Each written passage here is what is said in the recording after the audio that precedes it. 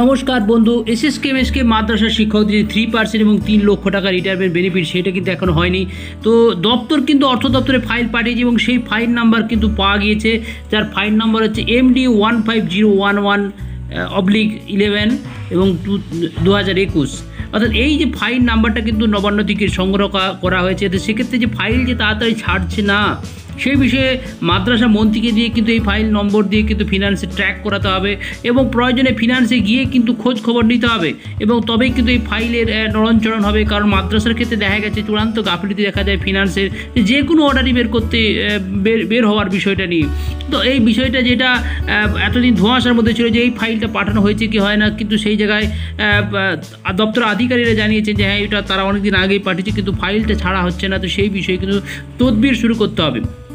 যেখানে দেখতে পাচ্ছেন এই ফাইল নম্বর, যেখানে MD one five zero one one oblique eleven two zero two one subject বলছে annual enhancement of remuneration of three percent এবং যে রিটায়ারমেন্ট বেনিফিট তিন লক্ষ টাকা for employee for SSK MSK under department of minority অর্থাৎ এই যে বিষয়টা নিয়ে কিন্তু ফাইল পাঠানো হয়েছে, সেই ফাইল কিন্তু ব্যাকও হয়নি বা কোনো সংশোধনীর জন্য আসেনি। অর্থাৎ এই ফাইল নম্বরটি খুব শীঘ্রই সংগঠনগুলিকে কিন্তু তাদের পিএকে পাঠাতে অর্থাৎ মন্ত্রীর পিএকে পাঠিয়ে মন্ত্রীকে দিয়ে কিন্তু এই বিষয়টা যাতে তাড়াতাড়ি নামানো যায়। কারণ অনেক শিক্ষক রিটায়ারমেন্ট হয়ে যাচ্ছে, চোখের জন্য মাত্র এক লক্ষ টাকা পাচ্ছেন, তবুও তিন লক্ষ টাকা হলে কিন্তু ভালো হয়। এবং থ্রি পার্সেন্ট ইয়ারলি ইনক্রিমেন্ট মানে এটা কিন্তু প্রত্যেক বছরই বাড়বে।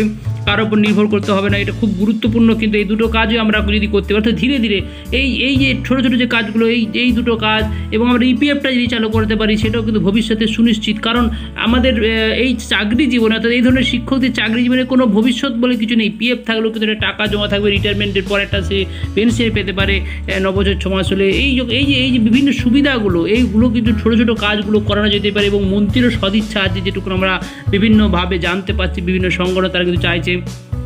এই নিয়ে আমরা দেখলাম যে মাদ্রাসা মন্ত্রীর সঙ্গে দুটি সংগঠন তারা আলাদা আলাদাভাবে তারা মন্ত্রীর সঙ্গে কথাবার্তা বলেছেন, বিভিন্ন দাবি দাওয়া জানিয়েছেন এবং বিষয়গুলো নিয়ে তারা নবান্ন তদবির করছেন। আমরা দেখেছিলাম কয়েকদিন আগেই যে মাহবুব ভাই তিনি মন্ত্রীর সাথে যেমন দেখা করেছিলেন এবং পরে থেমে না থেকে তিনি আবার নবান্নে যান এবং মন্ত্রীর পিয়ের কাছে যান এই বিষয়গুলো তদবির করার জন্য।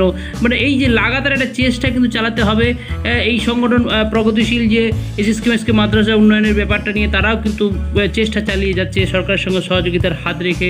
এবং অপরদিকে আমরা দেখেছিলাম যে এমএসকে ওয়েলফেয়ার অ্যাসোসিয়েশন তারাও কিন্তু মন্ত্রীর সঙ্গে কথা বলেছেন এবং চেষ্টা চালাচ্ছেন। এইভাবে কিন্তু বিষয়টা হচ্ছে মাদ্রাসার যে সামান্য সম- শিক্ষক, তিন হাজার সাড়ে তিন হাজার শিক্ষক, এইভাবে বিভাজিত হয়ে গেলে আমার মনে হয় কাজে একটা গাফিলতি যেতে পারে। সকলকে ঐক্যবদ্ধভাবে যদি কাজ করা যায় এবং লাগাতার চেষ্টা চালানো যায় আমার মনে হয় এই সমস্ত ছোটোখাটো বিষয়গুলিকে কিন্তু তৎপরতার সঙ্গে বের করে আনতে হবে এবং মূল যে দাবি বোর্ড রিকগনিশন আদায় করে নেওয়া, অর্থাৎ মাত্র তিন হাজার শিক্ষক, তিন হাজার বত্রিশশো, এগুলো যদি রেগুলেশন করা হয় এবং সেক্ষেত্রে দাঁড়িয়ে সরকারের খুব একটা বার্ডেন হবে না। এই যে বিষয়গুলোকে বারবার যাওয়া, মন্ত্রীর কাছে নক করা, ঐক্যবদ্ধভাবে বলা দাবি, যেমন একদিকে সরকারের পাশে থাকার বার্তা দেওয়া এবং অপরদিকে এই দাবিগুলোকে কিন্তু আদায় করার চেষ্টা কিন্তু চালিয়ে যেতে হবে।